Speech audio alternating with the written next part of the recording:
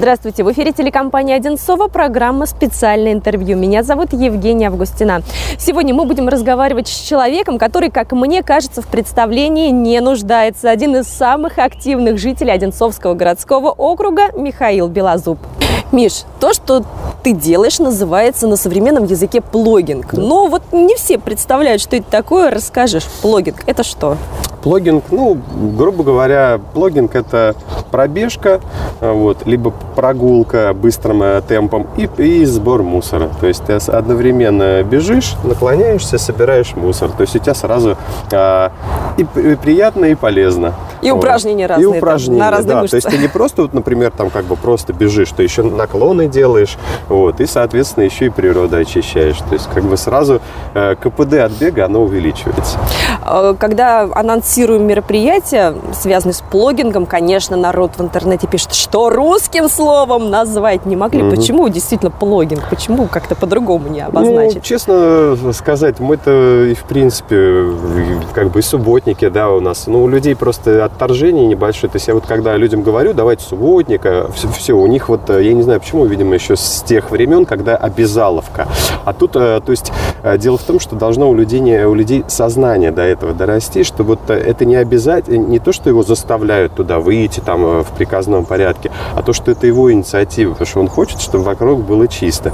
Вот, и, соответственно, Поэтому все-таки плогинг это не то, что вот как бы на субботник согнали, да, и почему именно ну, на русском языке ну, нет названия. Ну, просто вот так исторически у нас просто сбор мусора, да, было. Люди тоже ходят. Э, я очень много знаю людей, которые ходят, убираются. А вот, э, ну, скажем так, такой просто, может быть, тренд пошел из-за границы, придумали вот это название, да, плогинг. То есть у нас просто это делали люди, но они просто не было какого-то определенного названия для этого. Ну да, субботник действительно такой ну, контекст да, имеет, да. что у многих желание отпадает. К сожалению, выходить. так. А вот как ты пришел к плогингу? Ну, на самом деле история такая простая. То есть я в свое время как бы ездил на машине от работы домой. А потом так получилось, что очень сильные пробки. Я думаю, это у всех такая А расстояние проблема. большое? Ну, расстояние 7 километров. По сути, ну, 7-10 километров до работы обратно. Вот, с Москвы в Одинцово, соответственно. Вот. И тут так получилось, что, ну, я как-то подумал, что уже устал в пробках стоять. Думаю, ну, дай-ка я просто побегаю. Ну, я решил бегать, и я начал вот, э, вот это расстояние 6 лет лет, даже 7-7 лет назад преодолевать э, бегом либо на велосипеде. Ну, а потом ты как ну, пробегаю, я смотрю, вот, ну, куча мусора. Один раз ты пробежал, второй, а потом это начинает, ну, по крайней мере, на меня. Такой лежит да, и лежит. Кто-то а? может от этого абстрагироваться, но я так воспитан, я не могу просто. Мне уже настолько стало тошно на это смотреть, что я решил просто, я возьму пакет и соберу. Я просто останавливался, собирал, доносил эти пакеты. Потом постепенно я уже как бы понял, что вот и, и дальше я уже услышал, что появилось на плавление плогинг и так далее. Но это вот как бы я начал уже потом телефоны наших коммунальщиков, э, ну как бы у меня появились для того, чтобы уже проще этот мусор было, если это объемы большие, для того, чтобы было проще этот мусор оттуда выносить. Потому что, естественно, вот люди спрашивают, а куда можно деть мусор после того, как ты собрал? То есть вот, например, ты собираешь вот этот большой мешок, и что с ним делать? Вот, э, например, женщина или еще кто-то у нас с собаками гуляет, куда можно его деть? Я, ну, рекомендую, можно его до дороги отнести, потом сфотографировать и отправить, например, на добродел, либо позвонить в коммунальные службы, и они вывезут это. То есть проблем с этим, в принципе, у нас в Одинцово нет. То есть у нас коммунальщики, они э, всегда помогают, то есть у меня постоянно как бы с этим и все хорошо. Миш, вот так, за 10 лет примерно можешь посчитать, сколько ты пробежал, ну и сколько мусора, соответственно, собрал? Сколько пробежал, очень тяжело сказать. Э, ну, кстати, интересная идея, надо будет посчитать. А по мусору я примерно скажу, я считал, то есть э, среднее. У меня вот э, года 2-3 назад получалось где-то 7 тонн мусора. То есть сейчас я в думаю... Год? Нет, вообще в принципе а, 7 при... тонн где-то, да, вынес. Угу. Вот. Но это если не брать вот крупные субботники, где мы там это все прям КАМАЗами вывозили, но это общий, да, субботник. А если вот чисто я, то, что я вынес из леса в мешках, потому что мешок примерно вот 120-литровый, который я использую. И так, если по объему, по объему там вообще бешеный получается, а по килограммам я в среднем, если считал, там мешок, например, 10 килограмм, вот, то у меня получалось, ну, может быть, на данный момент где-то тонн 10 мусора, то есть из всех лесов, где я там бегал и выносил, получается. Ну и, наверное, километраж в тысячах мы измеряем, Ну там, ну скажем всего. так, у меня в месяц получается сейчас э, где-то 700 километров. Десятки тысяч, наверное, Ну, если да. не больше. Где-то так. Ну смотри, это мы сейчас проговорили, в общем-то, про пользу для экологии. Вот польза для тебя, твоя физическая форма за это время изменилась? Честно сказать, ну да, потому что раньше я 15 лет занимался в спортивном клубе «Олимп». Можно рекламу, да? Вот. Ну, это- Максим это- Ганин будет рад, Да, чуть-чуть да, можно. это, это наш спортивный клуб, он практически был э, единственный. Сейчас у нас есть фитнес, но все-таки фитнес это фитнес, а это вот спортивный клуб. семья. Э, Ребята, да, это как семья. Большая так и есть. Вот. И, соответственно, вот, я там занимался, а потом, э, в принципе, э, бег, он, ну, все, наверное, знают, э, при, при том, что лучше, конечно, бег трусцой, то есть не, не следует прям вот до фанатизма, если вы не хотите чемпионом там, мира становиться и так далее, просто для удовольствия. То есть я не бегаю там на пределе каком-то, то есть нужно бегать спокойненько, и, в принципе, физическая форма, и, ну, она поддерживается в нормальном состоянии. Плюс еще на природе, ну, всегда хорошо, потому что я стараюсь именно бегать не где-то в пыльных каких-то там местах по дорогам, а именно в основном стараюсь все-таки, чтобы это лес был, это называется трейл-раннинг. То есть это плоггинг, трейл-раннинг, то есть в лесах, где-то по таким интересным тропам. Ну и плюс там а, всегда у нас в лесах и турнички есть, это еще, наверное, с советских времен осталось, и бруси, можно поотжиматься, то есть можно так приятно все это совмещать. И поэтому, честно сказать, я даже вот, ну, как-то заходил в зал, и можно сказать, у меня даже силовые какие-то показатели, они чуть-чуть упали, но при этом все на нормальном таком достаточно уровне остается. И я, в принципе, всем рекомендую, даже вот, ну, существует такая статистика, что там мужчине, да и неважно, и женщине тоже, в день надо там, допустим, 10 километров. Не обязательно пробегать, можно проходить. Сейчас, например, есть модное направление, вот, ну, там, с палочками ходьба, потому что, ну, тоже полезно, потому что можно снимать э, с м, суставов, с позвоночника нагрузку за счет того, что опора, опора на палке идет. То есть это так называемая скандинавская ходьба. И, насколько я знаю, у нас э, на трассе Ларисы Лазутиной там э, проводят занятия. И для пенсионеров, кстати, сейчас э, вот программа идет... э, Активное долголетие. Активное долголетие. Я вот Ну, пока призываю- занятия приостановлены, Сейчас, к сожалению. да. Но вот как бы как, когда мы надеемся, что это быстрее все уже сейчас закончится, я всех пенсионеров призываю для того, чтобы как бы оставаться ну, в хорошем тонусе, чтобы как бы дольше себя прекрасно чувствовать и вот ну, заниматься, это очень полезно и ходьба. Ну да. А чтобы все быстрее закончилось, нужно оставаться дома по Да. возможности. В магазины не ходим, поликлиники не ходим, а, наверное, копим силы для того, чтобы Да, пойти в лес с палками. Ну, Миш, смотри, вот я, в принципе, человек, э, ну, хожу много, но не сказать, что форма прям у меня физически прекрасная. Вот я могу завтра утром встать и пойти на пробежку.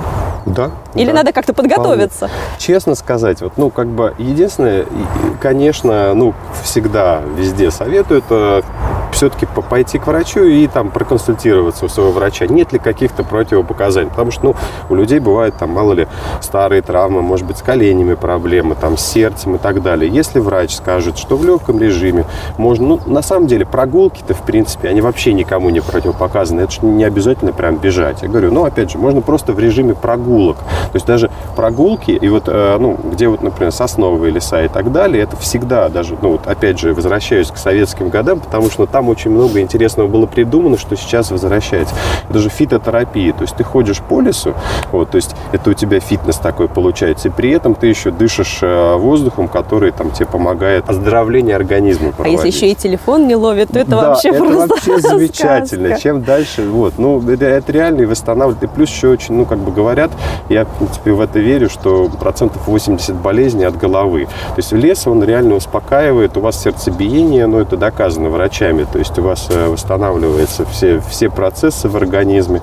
Вот. Ну, еще, кстати, говорят, э, помимо этого, конечно, правильное питание. Все-таки, ну, нужно стараться водички больше пить. Ну, тут, я думаю, там любой диетолог и э, врач вам тоже расскажет все это, потому что, ну, вот, э, поменьше всяких вредных э, вещей есть в Макдональдсе, в тех же самых и так далее. Фастфуд, есть- да, под запретом, Фастфуд, да, в вот, принципе. ну, то есть, а так, в принципе, есть все, но в меру, то есть не переедать. И все будет у вас прекрасно и хорошо. Ну, смотри, вот, к сожалению, очень многие думают, что активист равно бездельник. Ну, что, он занимается общественной деятельностью, потому что им заняться больше нечем. Давай опровергать срочно. Ну, скажем так, даже если можно, э, в принципе, рассказать, э, как день мой начинается. То есть, естественно, я, как все, просыпаюсь, но я просыпаюсь очень рано. То есть, я могу проснуться в 5 утра, могу в 6 утра позаниматься физкультурой, еще чем-нибудь, отвезти ребенка в детский сад, и после этого я уже как раз выбегаю на работу бегу до работы, в это время убираю мусор, делаю фотографии как раз тех нарушений, вот то, что как бы добродел, многие говорят, а когда вот эти люди в добродел выкладывают? Просто по пути на работу идете вы или это фотографируете, есть какое-то нарушение, вы увидели, его зафиксировали. В принципе, губернатор э, как раз для этого удобную вот эту вот, скажем, площадку он и сделал, для того, чтобы людям было удобно. Ты, тебе нужен только мобильный телефон, ты сфотографировал, все, дома, у тебя 5 минут, ты пришел, либо сразу, ну, я на бегу это не делаю, я прихожу домой, то есть там помылся, и потом вот это вот, ну, то, что в момент, когда ты прошел, там сфотографировал, где-то люк открыт, например, но это же всех касается, да, там э, недавно вот такая ситуация была, все знают. Ну, не проходите мимо, потому что вот реально э, вы, вы не сделали фотографии, а потом вот, ну, беда случилась. То есть, Человек ну, погиб, да, поясним телезрителям, что пожилая женщина утонула да. в канализационном люке. То есть э, мелких каких-то проблем все говорят, ну вот там мусор, бумажка, или вот э, люк открыт ну, не проходите, потому что это реально, вот нам кажется мелочь, а реально люди могут поставить яму на дороге тоже. Вот сегодня там э, ее не заделали, да, а завтра там человек, э, не дай бог, ее объезжал, и там у него авария случилась. Вот эти мелочи, а если мы не будем мимо них проходить вместе с вами, да, то, в принципе, наш город, он расцветет. То есть от нас тоже очень многое зависит. Потому что, ну, хочется в идеале, чтобы вот все работало само собой, коммунальные службы сами все, все бумажки видели, моментально оно все исчезало, убиралось, да, э, чтобы все люки, все было закрыто, но они тоже, скажем так, люди, потому что они ошибаются, и они не могут во всех местах одновременно быть, к сожалению. Возможно, это в идеальном мире когда-то будет.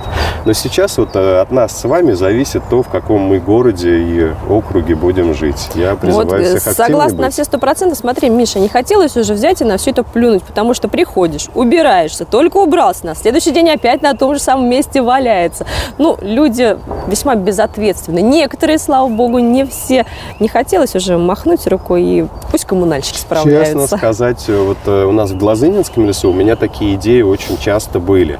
Ну, скажем так, я очень упрямый человек, и я привык все доводить до конца.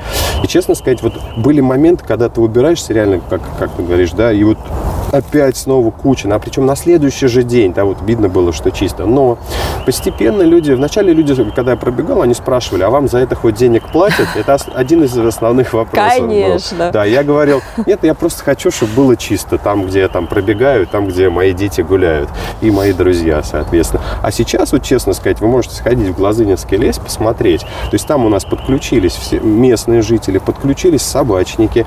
И реально вот лес, даже когда у нас э, глава Одинцовского округа приезжал на велосипеде, ну, инспекцию вот это проводил, он сказал, как у вас чисто. Вот. И то есть постепенно удалось э, даже вот, ну, маргиналов оттуда, наркоманов и так далее, им стало некомфортно, потому что люди, собачники, люди, кто гуляют, они стали также с пакетиками потихонечку убираться, и сейчас там стало чисто.